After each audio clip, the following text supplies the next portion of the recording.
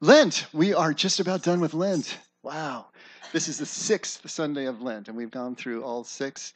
And we've been trying to follow um, Lent in a, in a different way. We wanted to be able to look at Lent not from a negative point of view, not through a negative prism, but the affirmative action, shall we say, of clearing the decks you know, Lent was always when we were a child about, when we were children, about denying self, about letting go of things, about giving things up. And it was understood as penance for sin. But how about the idea of letting things go, clearing the decks in order to be more present, in order to be more aware, in order to be able to see through the distractions that life naturally presents, but also the distractions that we create for ourselves, mostly in our own minds to step away from that constant monologue in our heads, to step away from the, the things that we habitually do that have become so rote, so ritual, that we don't even think about them anymore, and we're not present through them to whomever or whatever is in our path at the moment. So we've been looking at, at, at Lent in this way, trying to say, okay, how can we continue this contemplative life, this contemplative lifestyle, to move toward the new life, the rebirth, that Easter represents. And so that's what we've been talking about doing. And we've been taking some of the days of Holy Week and saying liturgically, each day of Holy Week has a name and has a set of scriptural passages uh, designated to it traditionally for, for a thousand years at least. And each one of those is telling the story selectively of the last week of Jesus' life before the crucifixion and the resurrection. But if we dig deeper and we take a look at how those stories were selected, which ones did the church fathers select? And maybe some church mothers too. Which ones did they select? And why did they select them? Because if we look at the meaning underneath there, it is not only giving us a surface meaning of the events of this last week of Jesus' life, but it's giving us a deeper meaning that's directed at each one of us, each one of the followers of Jesus. In terms of how do we actually experience the progress along Jesus' way? This way of his that he said is the only way to the Father, the only way to kingdom, the only way to the truth that makes us free. All of those things, and if you think about it, all those things are Father. Father is truth. Father is awareness. Father is presence. Father is those things, the truth, the freedom of kingdom. And so Jesus' way is a way of getting there. How is it experienced? Well, each day of Holy Week is giving us a glimpse into that. We talked briefly about Palm Sunday, and we're going to talk more in detail this morning. That Palm Sunday is about seeing past the expectations, the agendas, the drives, the compulsions, and obsessions within ourselves to see what's really in front of us. What we were just talking about. How do you do that? But if we don't do that, how are we going to take any further steps along the way. Fig Monday, we talked about instead of seeing past our own distractions and our own agendas and drives that take us off track, is to see past those that are part of the institutions around us, the groups around us, see past our own church's distractions. And that was sim- symbolized by the cleansing of the temple and the cursing of the fig tree. And then Holy Tuesday and Spy Wednesday were all about the balance between living here and now, and still the expectancy of life to come, what is coming around the corner, staying balanced in that. And the balance between the macro and the micro, which better we can understand probably is the balance between doing and accomplishing and simply being, kind of the Martha and Mary. So those two days, the stories there between the the, uh, the wise and the foolish bridesmaids or virgins and, and the stories of Judas and Mary are all about balance, all about watchfulness and readiness, staying balanced, staying aware. And then Maundy, Thursday is all about unity, whether it's in the Last Supper, the institution of the Eucharist, actually taking into ourselves everything that Jesus is. It's about the prayer for unity at John 17. It's about the washing of the disciples' feet, which shows that the master is the servant and the servant is the master and the two connect in this beautifully unified way. Moving into Good Friday, which is a complete surrender, the consummation. And then Holy Saturday is the rest, and then Easter Sunday is the rebirth, the ascension, the coming back in a new way, coming back to life, but different. And so each one of those days is giving us this roadmap and this way through everything that we're talking about. And here at the beginning of Holy Week, though, what we want to do is spend some time now with Palm Sunday. Because Palm Sunday is the first day, it's also the first step along this way. And Jesus is constantly hammering this point home, constantly trying to get us to understand. And he uses all different types of imagery, all different types of metaphor, word pictures to try to get this one point hammered home. What does he say? He says, Well, listen to the patter of little feet, he says. now we know where our kids are, and they're safe, and they're having fun. He said, Unless you sell everything that you have and give it to the poor and follow me, you can't go where I'm going. Sell everything you have. He said, Unless you lose your life, you can't find it. He was saying, oh, he talked about the sign of Jonah, which is the descent into the belly of the whale. He talked about denying yourself. He talked about picking up your cross, which is a metaphor, of course, for letting yourself, your desires, all of your egoic mechanism, let it die. Put it up there. Everything that he's talking about here in all of these metaphors, stories, teachings is trying to get us to the same point. There is a built in block for us as human beings simply because we are self aware, simply because we're, we're, we're conscious in a way that animals aren't. That blocks us from seeing the truth, blocks us from seeing what is right in front of us. And unless we take this first step, unless we can break down our over identification with all of that noise so that we can see what's right in front of us, no further steps along the way are possible. And so, this first one, I mean, is any one step any more important than any other? I suppose not. They're all getting you where you're going. But the first step sets the foundation, the ground rules, the rules of engagement, if you will, for everything that is to follow. And so, it's vitally important that we understand what is Jesus talking about when he talks about Palm Sunday? What is the story talking about when he talks about Palm Sunday. Now, when Jesus emphasizes this, he emphasizes Palm Sunday as a tragedy. And that's kind of counter, counterintuitive because it looks like a triumph. In fact, that's what it's called the triumphal entry into Jerusalem, right? But he calls it a tragedy. Why would he do that? Why does he consider this a tragedy? He says it in Luke, and we'll read that in a little bit. But this was a missed opportunity for the people.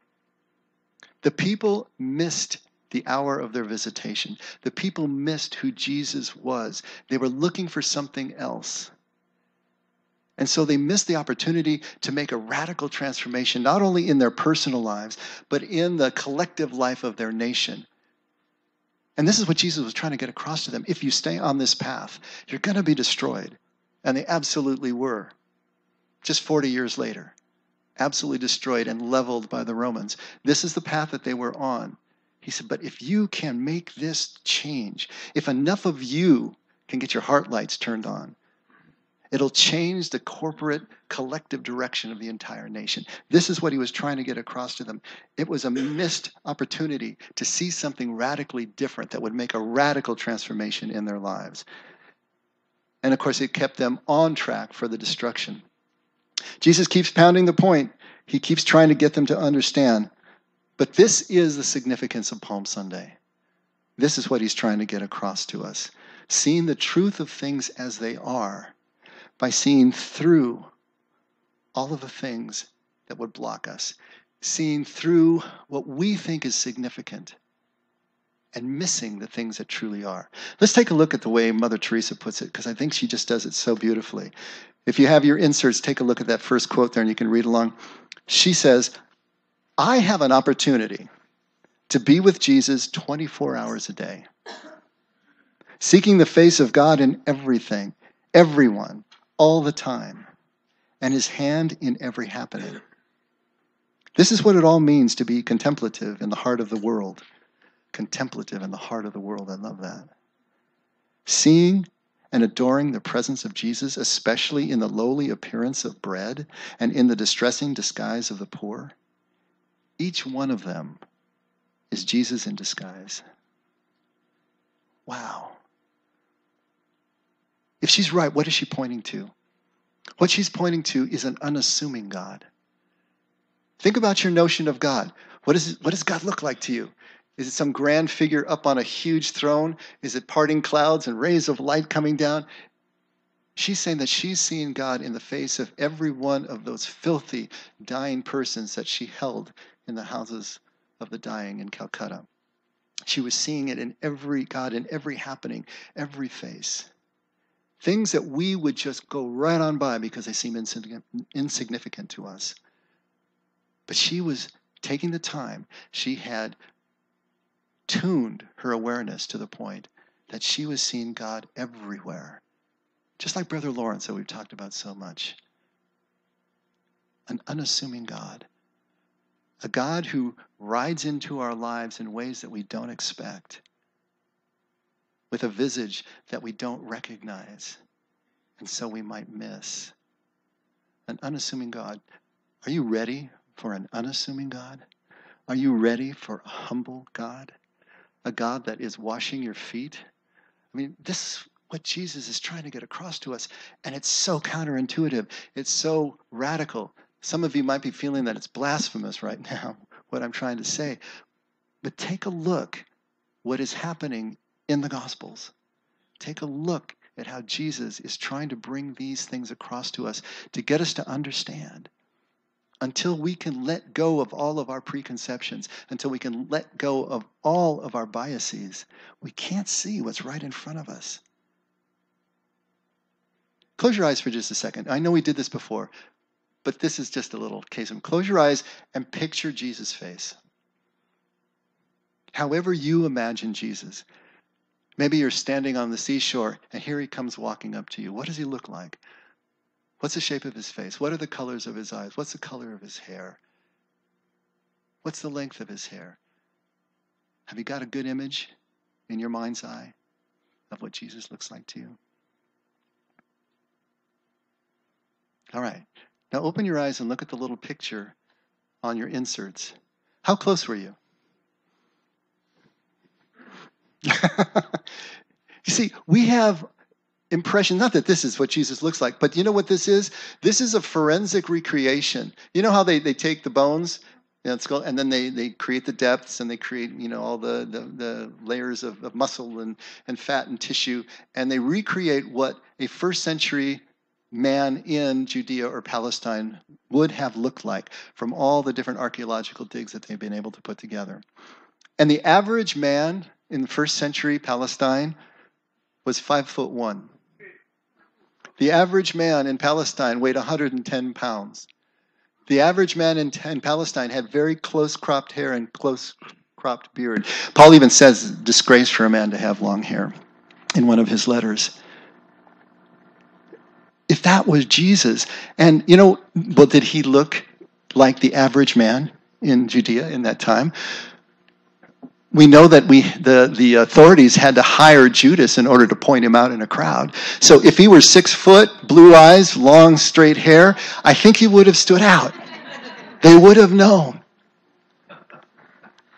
Can you handle a Jesus that kind of looks almost like a hobbit to you? Could you handle that? And remember what Isaiah says. Take a look at Isaiah 53 2. For he grew up before him like a tender shoot. He's talking here about the Mashiach, the Messiah and like a root out of parched ground, he has no stately form or majesty that we should look upon him, or appearance that we should be attracted to him. Could you handle Jesus if he weren't attractive? Could you handle Jesus if he didn't look anything like you imagine him to be? Or would you walk on by looking for Tab Hunter? It goes this basic. I know this is just trivial, this is just skin deep, but this is just the tip of the iceberg. Think of if that is what we believe of just how Jesus looks, how much else have we got buried down there of our own ideas, expectations, and absolutes about who God needs to be in order for Him to be God for us? These are the things that we need to take a look at. Are we ready to recognize Jesus as he rides into our life, right here, right now, today, in whatever form he takes? Are we ready to see the significance in the insignificant and recognize the moment of our visitation? Or are we going to miss this opportunity as well? Now, Palm Sunday for Jesus at this time, just a few days before his crucifixion, everything's coming to a head right now. All right? Palm Sunday is sandwiched in between Lazarus Saturday, which we don't talk about too much, but that's about the raising of Lazarus from the dead, and between Fig Monday, which is about the cleansing of the temple, where he goes in and actually overturns the tables and calls the place a den of thieves. And so, if you think about it, raising Lazarus from the dead, Lazarus Saturday, is the height of his fame. At this point, people are going crazy for Jesus. The crowds are growing, they're following him. He's getting noticed by all the authorities in all the wrong ways. And he's sandwiched in between Fig that and Fig Monday, which is the height of his threat to the power, the powers that be. This for them is the last straw. When he goes into the temple at this time, at Passover, when the, the, the, city is just filled to the max with all the Jews from all over the area and the region, this is the last straw. So everything is coming to a head. It's the Passover, it's Pesach. It was one of the pilgrimage festivals. All Jews were commanded to come, at least the men, to Jerusalem to fulfill their ritual obligations. And Jesus was an observant Jew. He did this every year. His family did it every year. His disciples are begging him not to go. They know it's too hot. They know what's going on.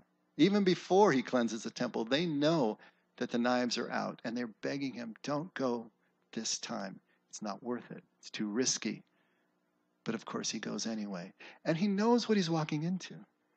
He knows he's walking into a meat grinder here, but he goes anyway. Because that's who he is. That's the integrity of who he is. And so when he gets there, let's read the way Matthew puts it at chapter 21, verse 1. Now, when they all drew, drew near to Jerusalem and came to Bethphage, to the Mount of Olives. Then Jesus sent two disciples, saying to them, Go into the village in front of you, and immediately you will find a donkey tied, and a colt with her. Untie them and bring them to me. If anyone says anything to you, you just say, The Lord needs them, and he will send them at once. This took place to fulfill what was spoken by the prophet, saying, Say to the daughter of Zion, Behold, your king is coming to you, humble and mounted on a donkey, and on a colt, the foal of a beast of burden. The disciples went and did as Jesus had directed them. They brought the donkey and the colt and put them on their cloaks, and he sat on them. Most of the crowd spread their cloaks on the road, and others cut branches from the trees and spread them on the road. And the crowds that went before him and that followed him were shouting, Hosanna to the Son of David! Blessed is he who comes in the name of the Lord! Hosanna to the highest! Okay, this story is filled with symbolism and filled with prophecy. We need to break it down a little bit so that we understand what's going on here. I mean, obviously, the first thing that we see is this donkey. What's going on with the donkey? What's the significance of the donkey? And then the foal or the colt of a donkey. What's going on there? In the ancient world, kind of pretty much throughout the, the ancient Middle East, the horse was a symbol of war and the donkey was a symbol of peace. If a king rode into your city on a horse, look out He's coming in to make some noise. If he comes in on a donkey, that means he's coming in peace. He's coming to negotiate. He's coming to find truce. To come in on the colt of a donkey, the foal of a donkey, is even a lowlier status. By choosing the donkey, Jesus is saying right off the bat, I'm not who you think I am. If you, who you think I am is the one who's going to throw the Romans out, I'm coming in peace. What about these palm branches? What's that all about? Also throughout the Middle East. Palm branches were the symbol of triumph and victory.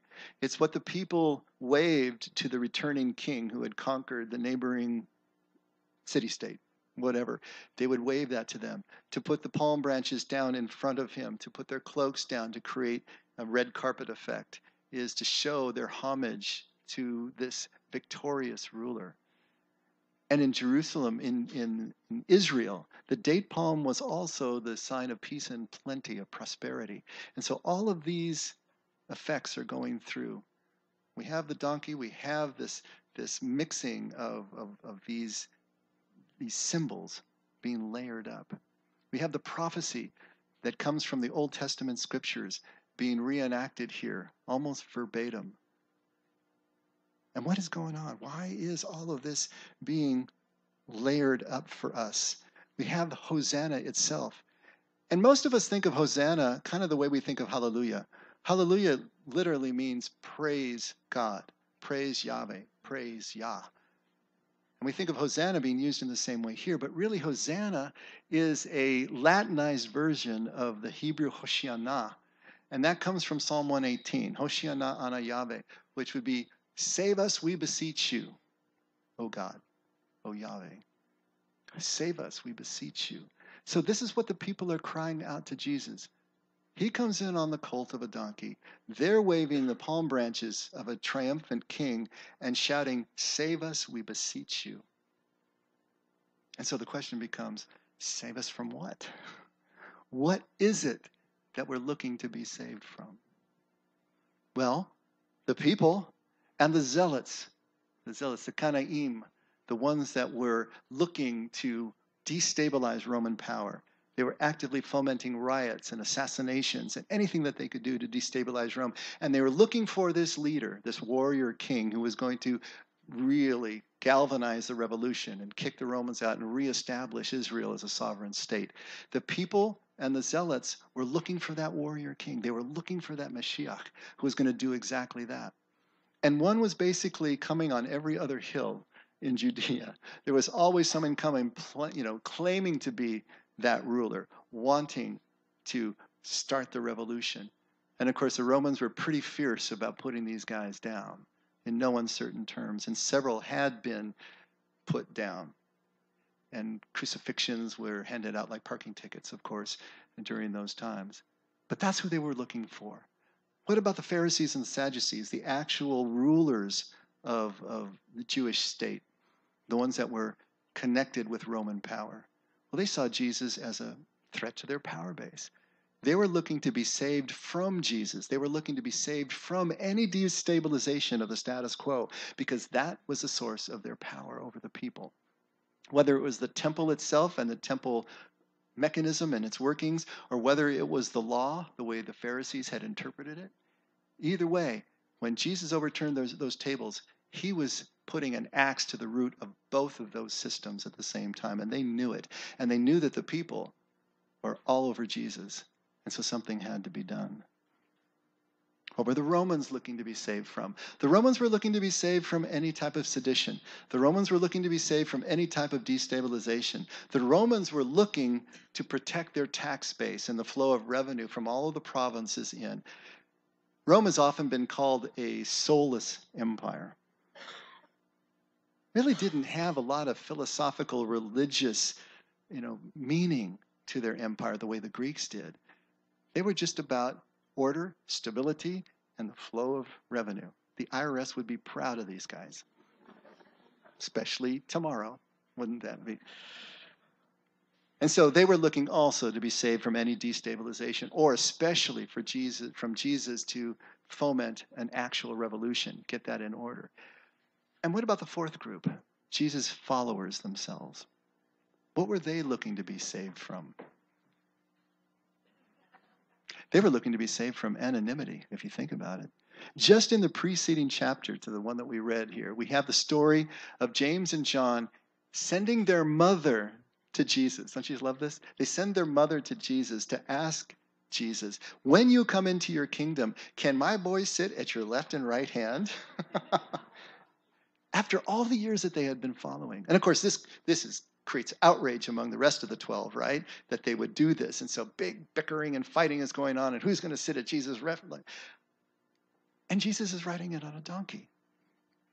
Jesus has said over and over, this is after what, three, maybe four years, who knows how many years of following him, and they still misunderstand. They still don't understand what Jesus is about. They're still looking for him to come into some kind of temporal power, and they can then move into the big time, finally, from the back of beyond in the Galilee, from their anonymous, meaningless lives as fishermen or shepherds or whatever they were, to be able to come to the fore and have a place of power.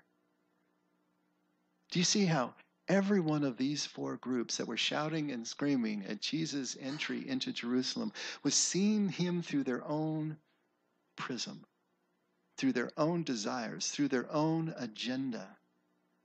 They were seeing what they wanted to see for, this, for themselves. They were seeing a reflection of themselves that had nothing to do with Jesus. And the irony here is this cry of save us misses the entire point of salvation. Jesus isn't riding in to fix things for them. Jesus isn't riding in to change their circumstances to their liking. Jesus isn't riding in even to save them in some sort of passive way.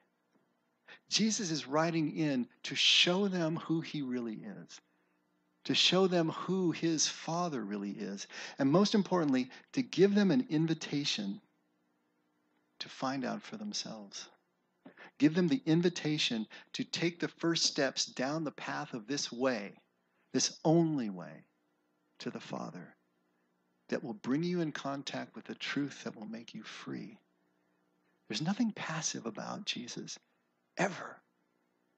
Jesus is an absolute radical force who will never leave you unchanged if you really see him as he is.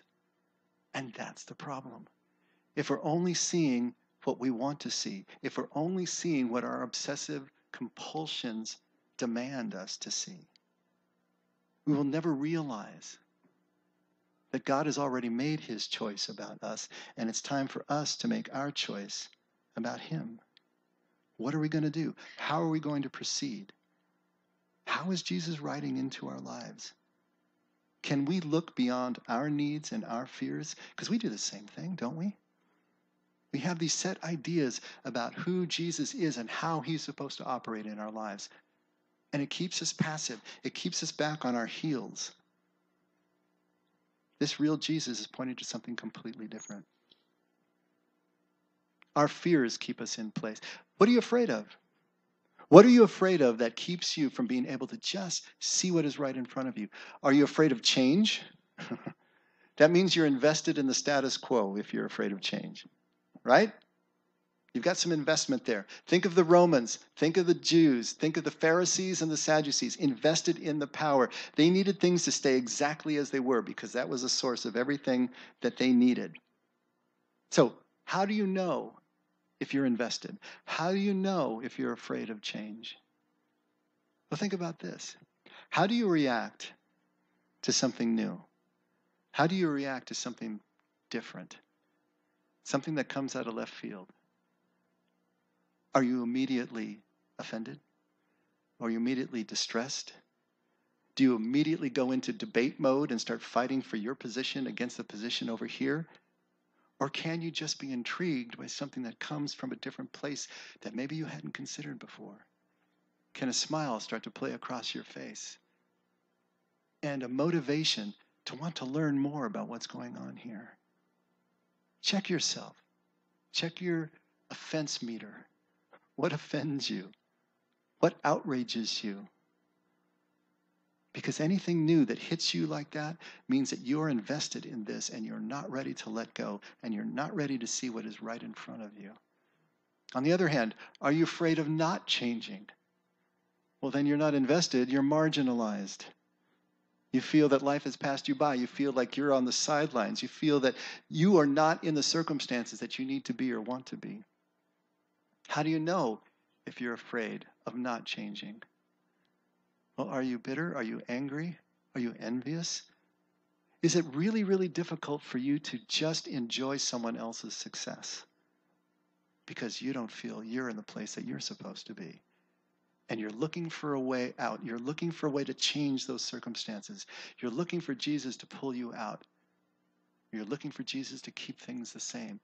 It's our fears that will dictate to us our ability to be able to just see Jesus as Jesus is, see this moment as the moment is.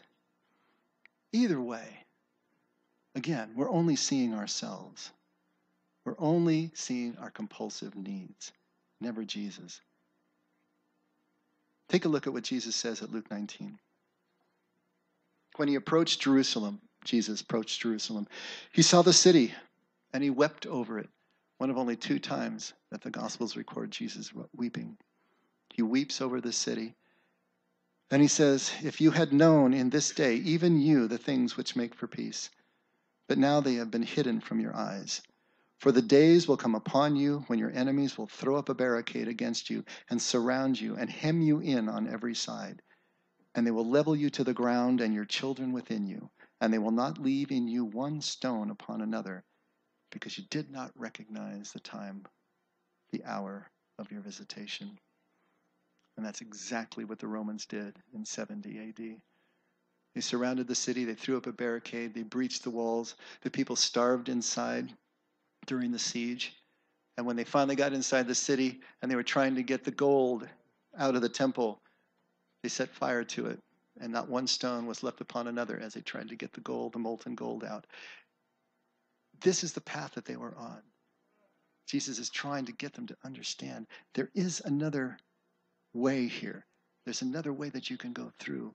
This tragedy of not seeing the opportunity that they had at that point to make a turn, individually and collectively, is everything about what we're talking about here for our own lives. How do we react when Jesus comes into our lives?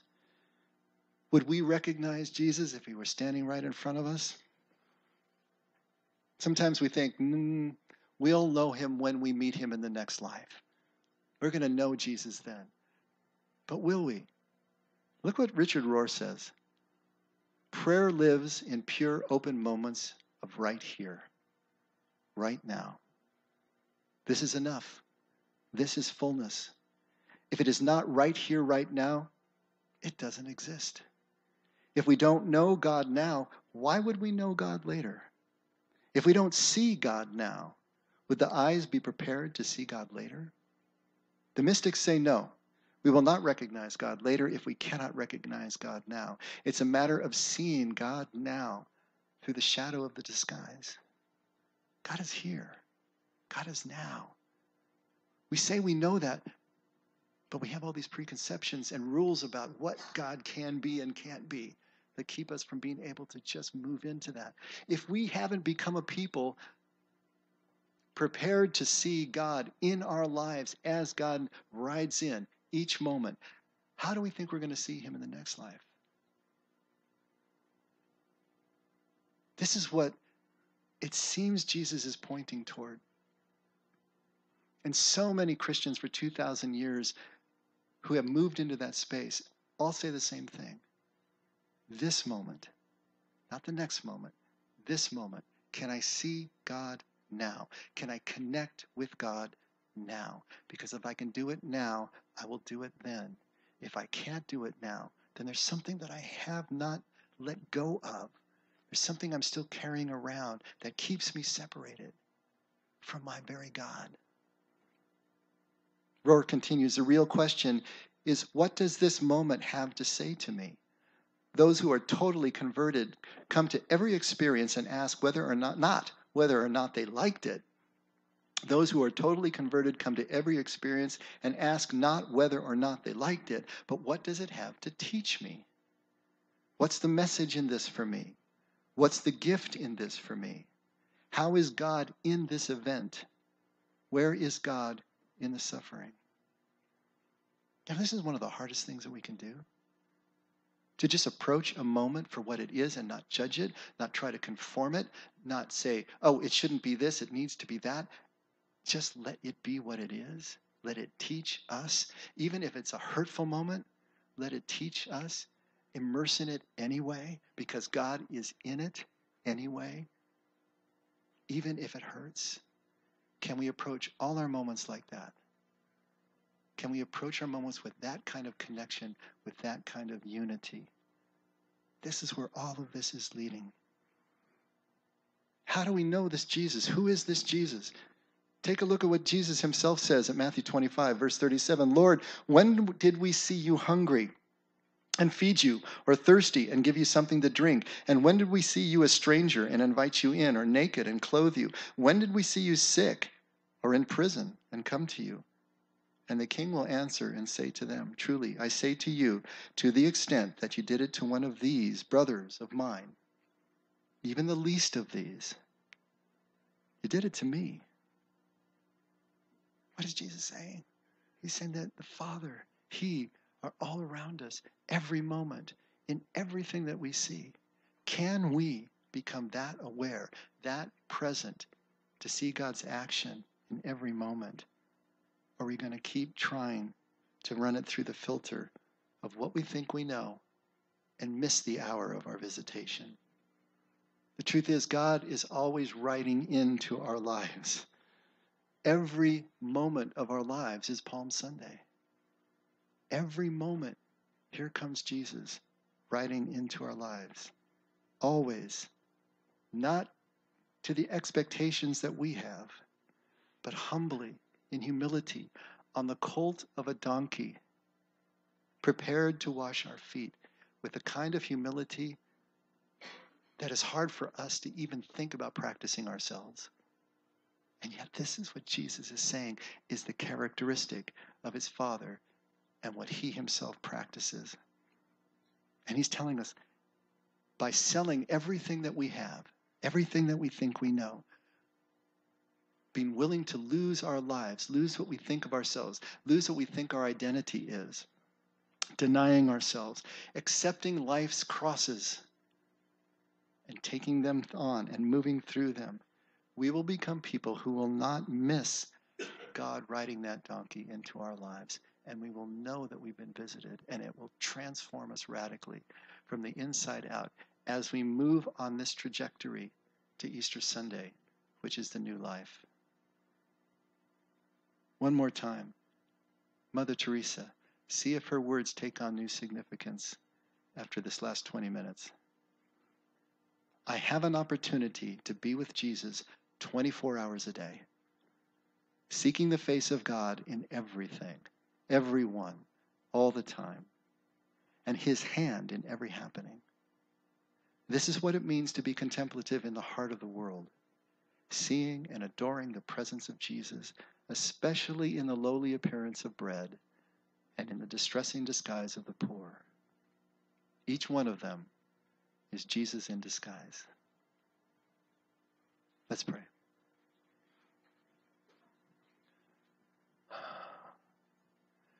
Again, Father, we are so grateful to be here. Thank you for preparing this new home for us. Thank you for preparing in time for Holy Week. And thank you for our community. Our community that makes a safe place for us to be able to practice and, and move about and be vulnerable and do the things that we're trying to do here. Father, you know how frightening it is for us to let go of our, our expectations, to let go of our images. And so having this community around us gives us a place to be able to do that. And know that we know that we are accepted even as we move through all our gyrations as we're trying to come to you. Thank you for always riding into our lives, never, ever leaving or forsaking us. Help us to see what is really right in front of us and who you really are so that we can move into the new life that you have for us, even as we immerse ourselves right here and right now. Thank you for being that kind of God, Lord. Thank you for your love. Never let us forget. We can only love because you loved us first. In Jesus' name. Amen. Let's all stand.